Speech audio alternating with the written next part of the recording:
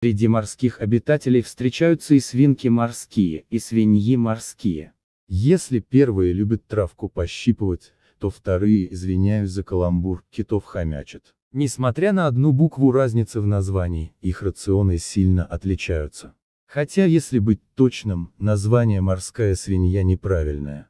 Морскими свиньями на самом деле называются китообразные небольшие. Настоящее научное название этих морских созданий – скотопланисы. И хотя они имеют желеобразную внешность, они относятся к галатуриям. Они к свиньям. При взгляде на ниже приведенные фотографии, вы, вероятно, удивитесь, как такое маленькое существо может поглотить кита. Однако, учитывая, что они обитают на глубинах от 1 километра и более, киты здесь редкость. Кит – это млекопитающее, и он не может задерживаться на такой глубине надолго. Смысл в том, что все киты смертны, и иногда их смерть приходит внезапно.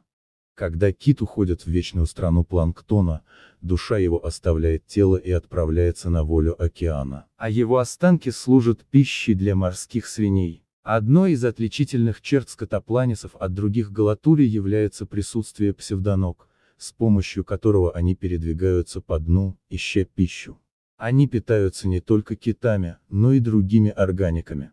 Однако, они предпочитают крупную добычу, так как их отличает отличное обоняние. Несмотря на изысканный аппетит, скотопланисы это относительно маленькие существа, редко дорастающие до 15 сантиметров в длину. Несмотря на отсутствие панциря и игл, они защищены от хищников, потому что покрывают свою поверхность ядом, который они выделяют сами, и который называется галатурином.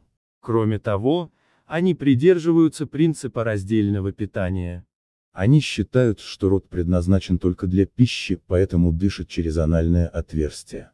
Если вам понравилась история, подпишитесь на канал. Всем добра, любите животных.